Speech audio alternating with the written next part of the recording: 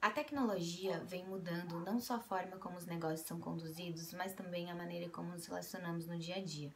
E dentro desse cenário de inovação e tecnologia, empreendedores vêm trabalhando em condições de extrema incerteza à procura de um modelo de negócio escalável e repetível, ou seja, um modelo que pode ser replicado sem demandar muitos custos da futura empresa, como também que seja possível entregar o mesmo serviço ou produto por uma quantidade quase que ilimitada de clientes, sem que seja preciso adequar esse produto ou serviço para cada cliente.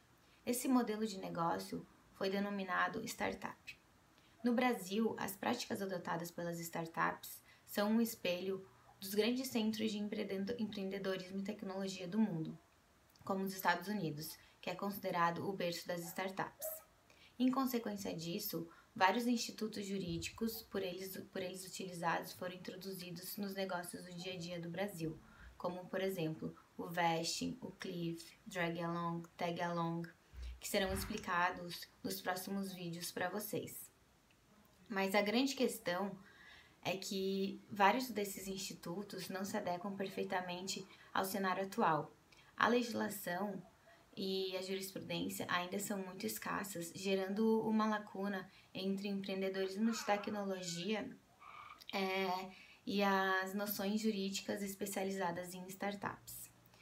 Então, o objetivo desse e dos próximos vídeos que serão lançados toda segunda-feira para vocês no nosso canal é justamente apontar alguns fatores e cuidados que, que devem ser percebidos desde a constituição da startup até a sua sessão e encerramento.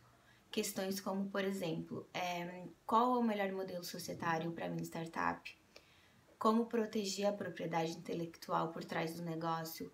Como obter a melhor forma de investimento? Ou quais as cláusulas padrões utilizadas nos contratos com, investidores anjos e com aceleradoras para proteger o empreendedor, como também quem está investindo na startup. Então é isso, fiquem ligados no nosso canal, acessem nossas redes sociais, o nosso site www.gdr.adv.br. Meu nome é Marina e eu sou advogada. Até mais!